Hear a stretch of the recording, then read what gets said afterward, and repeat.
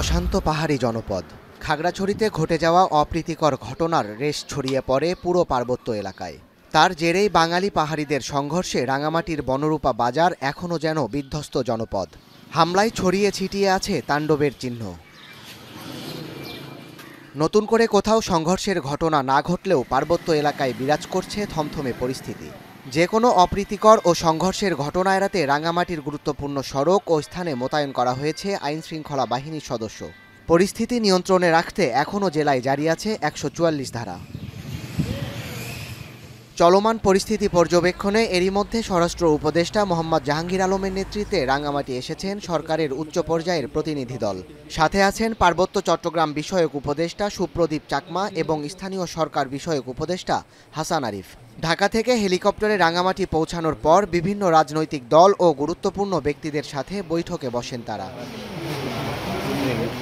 এদিকে শনিবার সকাল ছটা থেকে খাগড়াছড়ি, রাঙামাটি ও বান্দরবানে সিএইচটি ব্লকেড নামে সড়ক ও নৌপথে চলছে বাহাত্তর ঘণ্টার অবরোধ। বিক্ষুব্ধ যুগ্ম ছাত্র জনতার ব্যানারে এই অবরোধ কর্মসূচি পালন করছেন পাহাড়িরা।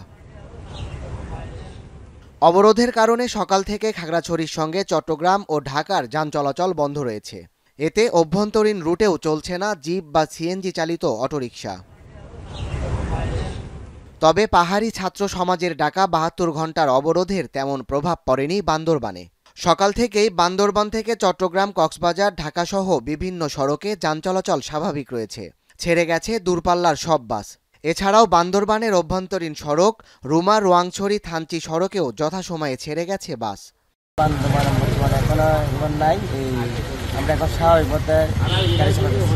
এখানে গাড়ি চলতেছে সকাল পর্যন্ত গাড়ি চলতেছে। আমরা গাড়ি চালা দিয়েছি আমরা শান্তি থেকে রুমের থেকে আসতেছি কোনো অসুবিধা হচ্ছে না? এখানে কোনো অবরোধ চলতেছে না। সব কিছু সঠিকভাবে চলছে এখনও পর্যন্ত কোথাও কোনো নতুন করে অপ্রীতিকর ঘটনা ঘটেনি। সাদাত শাহেদ এখন। শিয়া বাটার ও ভিটামিন ই সমৃদ্ধ Lily glam beauty soap Lily always beautiful